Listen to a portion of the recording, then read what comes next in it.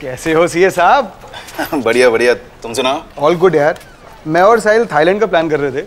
अच्छा। तू भी चल। मज़ाक कर रहे हो क्या? क्यों? अरे बहुत काम है यार प्रॉब्लम हो जाएगा। अरे ऐसा क्या प्रॉब्लम हो जाएगा यार? चल ना।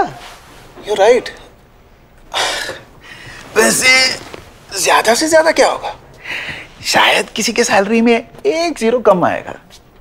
शायद मेरे क्लाइंट्स के घर इनकम टैक्स वाले चाय पीने आ जाएँगे। शायद किसी के काले धन को गोरा बनाने का सपना अधूरा रह जाएगा। और शायद किसी कंपनी का प्रॉफिट लॉस में बदल जाएगा। तो बोलो हॉलिडे में चलें?